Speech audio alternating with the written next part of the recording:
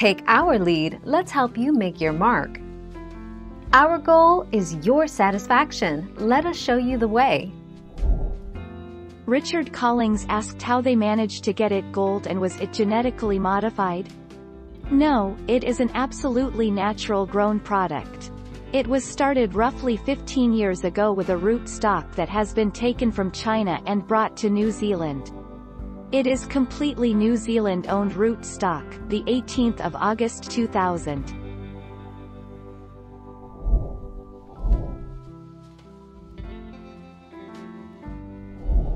Let's help you make your mark.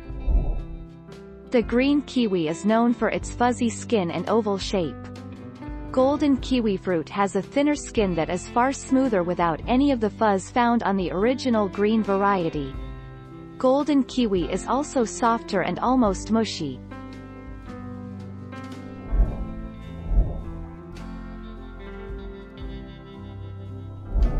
Let's help you make your mark. According to research, the golden kiwi fruit has nearly double the amount of vitamin C, enough to meet the daily requirement. As an added bonus, this beautiful fruit is excellent for the skin. In terms of dietary fiber, the green kiwi fruit has 1.5 times more than its golden cousin. 0.25 June 2020.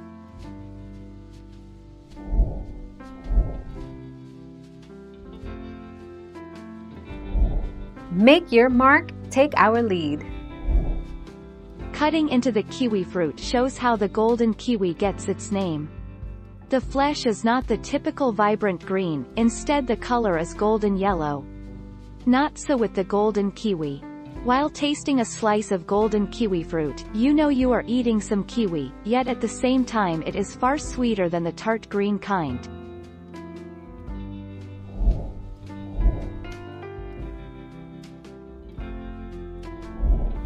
Take our lead.